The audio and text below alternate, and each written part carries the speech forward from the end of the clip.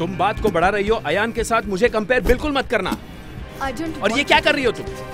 कल जो तुमने मुझे ऑनलाइन खरीद कर दिया था ना ये लो उसके पैसे।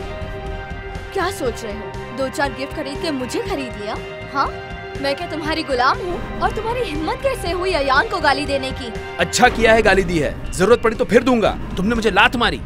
मैं थी इसलिए सिर्फ़ लात ही मारी। कोई और होता ना?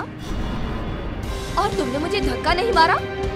आज सुबह तुम्हारी टी शर्ट भीगी थी उस वजह से तुमने मुझसे बदतमीजी नहीं की धक्का नहीं मारूँगा तो क्या करूँगा बार बार गिराकर मेरी पूरी टी शर्ट गिली कर दी तुम क्या ऑटिस्टिक हो Mind your language, Mr. Banerjee. That- Autism is a disease.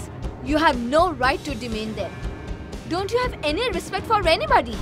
Oh that fucking respect respect and respect ये साला रिस्पेक्ट नहीं मेरी गांड मार दी अच्छा हुआ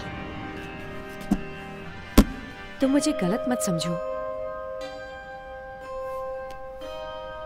मैंने मैंने बिना जाने तुम्हारा बहुत अपमान किया है। असल में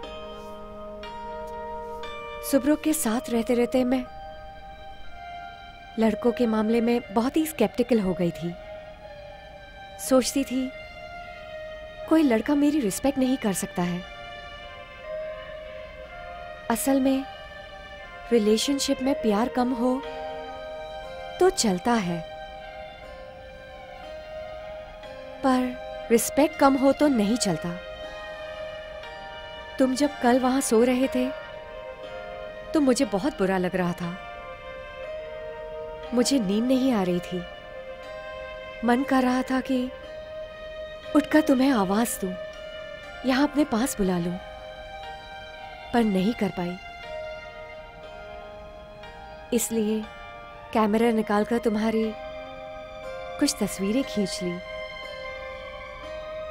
तुम्हें पता है सोते समय तुम बिल्कुल बच्चों की तरह लगते हो। तुम्हें पता है तुम बहुत अच्छा गाना गाती हो। सच में?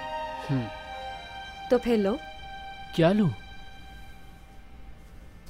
You know nothing Jon Snow you know nothing प्रेमिका जब रो रही होती है तो उचित है कि प्रेमी उसके आँसू अपने ओष्ठ में भर ले। ओष्ठ का मतलब जानते हो?